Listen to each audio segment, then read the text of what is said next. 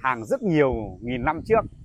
Các bậc y gia và các cái bậc về về về về đạo gia cũng như là những cái người mà luôn luôn tập khí công dưỡng sinh ấy, người ta đã có một cái tư duy hoặc là người ta đã đưa ra một cái câu bất hủ là gì?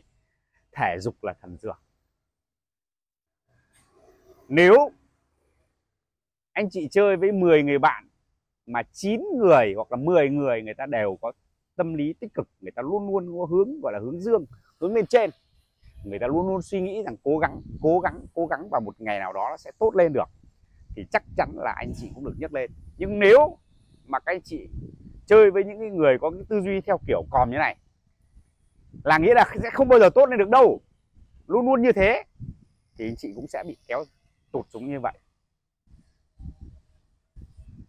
Cho nên là chỉ khuyên các anh chị mấy điều. Một, tập thể dục điều độ. Hai, luôn luôn suy nghĩ tích cực. Thấp, xin lỗi các anh chị mấy thằng nó hay nói bi quan các chị dẹp mẹ đi kéo chơi với nó nữa. Thế cho khỏe. Vì nó nó sẽ không không bao giờ nó build các anh chị lên được. Nó không đưa các anh chị lên mà nó chỉ kéo tụt các anh chị xuống. Là điều thứ hai. Và cái thứ ba là gì? Nếu các anh chị có đủ niềm tin thì thể dục chính là thần dược.